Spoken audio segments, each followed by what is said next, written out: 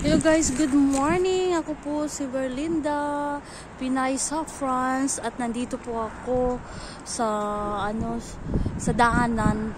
Galing po ako sa doktor at pharmacy at ngayon dito ako dadaan. Yan po yung daanan namin. Yan, papunta po yan sa bahay namin. At ngayon kahit iba yung panahon dito, walang araw at mahangin talaga. Iba yung panahon talaga dito pag winter. So ayan, nandito ako habang naglalakad. Ayan, nag nagbibideo parang may ano po ako may ipopost sa channel ko at sana guys maano po ninyo ako susuportahan po ninyo ako itong channel ko kasi po nagtatry lang po ako. At sana susuportahan niyo po ako itong channel guys. At yan ngayon as in na mahangin talaga. Mahangin yung buhok ko. Ayan naglulumilipad ganun. Mahangin ba sa labas ganun talaga guys. At dito uh, pauwi na po ako at wala po akong sasakyan. Alam naman ninyo pag once nandito kayo sa ibang bansa, hindi talaga katulad sa bansa natin na may mga jeepney o uh, habal-habal tricycle. Pero dito talaga guys, kung wala, wala kang ano, sasakyan o dra, uh, sasakyan o kailangan, kailangan talagang maglalakad ka kahit pa man uh, na maliit lang yung city ninyo kung nakatira ka sa maliit na city lalo na kung uh, hindi city as in wala talagang sasakyan dito guys. Kailangan talaga na yung ano mo sasakyan yung mga pa mo na, pa mo na maglalakad ka.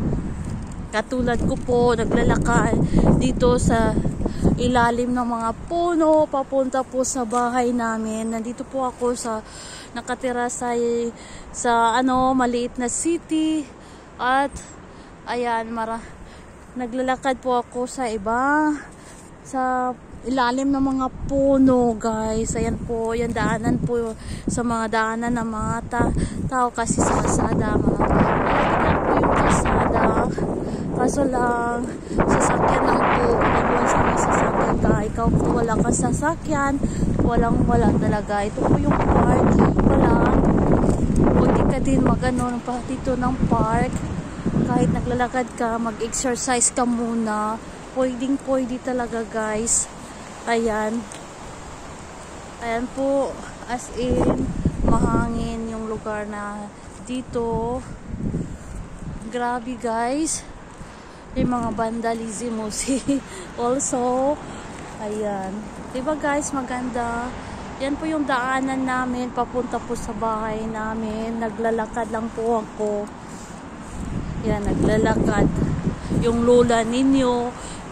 Ito po yung buhay ko sa France. Kahit nandito ako sa France walang sasakyan naglalakad talaga. As in walang wala kasi yung asawa ko may trabaho pero ako naman may mga uh, appointment sa doktor pharmacy kahit saan kahit sa school ng mga anak ko kailangan talaga na ihatid ko yung mga anak ko uh, sa station ng bus pero kailangan na maglalakad ka talaga. So ito po guys. Yan po So guys, hanggang dito na lang po itong video ko. Sana susuportahan po ninyo ako dito. Ito po ay isang Pinay sa France na nakatira. At thank you for your watching. So guys, kung hindi pa kayo nakasubscribe, please click subscribe on my YouTube channel. At pag-hit lang po yung bell icon para maka-notify kayo yung mga bago kong video na ina-upload. Thank you for your watching and bye for now.